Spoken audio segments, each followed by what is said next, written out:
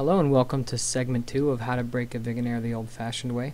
I'm going to apologize in advance that this isn't as polished as it could be. I'm trying to do this very quickly for some students who had uh, trouble with the Vigenere cipher uh, and or those who weren't able to make it to class.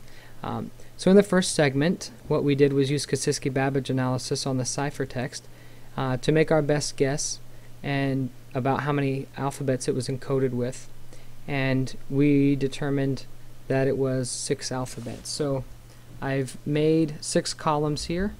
Um, the second thing that we did was once we determined that we chopped the ciphertext up into six different chunks each chunk we believe being enciphered by um, the same alphabet. So there were six chunks, one for each alphabet we think was used. And so the insight is we're going to do analysis on this um, alphabet, and probably the most frequently encoded letter with this alphabet was E.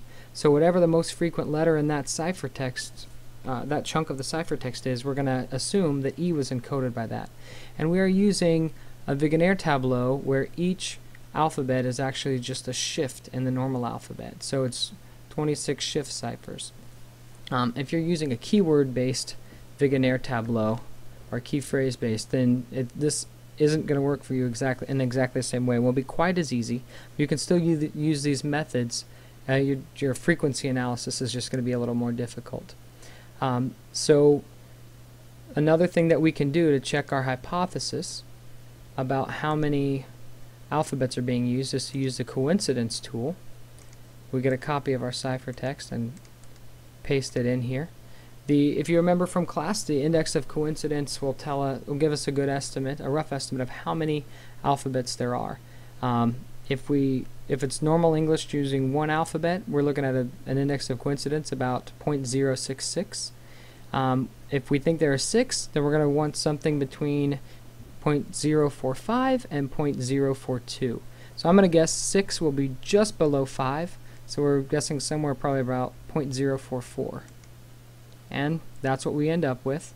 So it looks like 6 is a pretty sound guess. So we determined that S and either Q or N, S would be the first letter of the keyword and Q or N would be the second.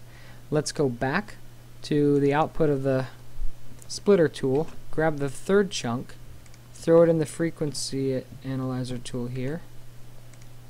The most frequent letter is M, so we go back to the Vigenere tableau from the Wikipedia site, E being encoded as M would be would mean we're using the I alphabet.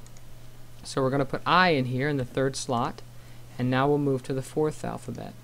Go back to the splitter tool, copy, analyzer tool, frequency analyzer. X is the most common. Go back to the Vigenere tableau. E being enciphered as X means that T is the alphabet that was used. Pop in a T there and we'll move on to the fifth alphabet.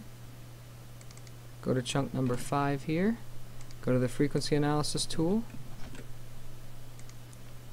Get the letter frequencies. So these are pretty close, G and V, so we'll take a look at both of them and put them as options. E being enciphered as G would be C, and E being enciphered as V would be R.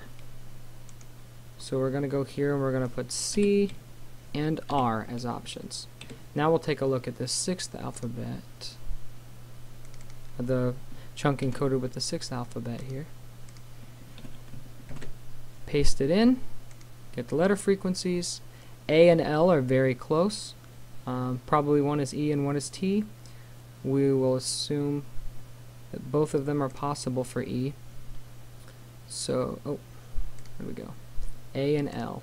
So E being encoded as L would be H, and as A would be W. So come back here, H or W. And those of you who are, Harry Potter fans will immediately recognize the word snitch.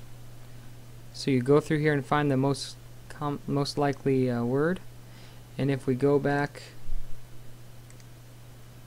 to here, go back, use the Vigenere cipher tool, paste in, oh, we need the whole ciphertext.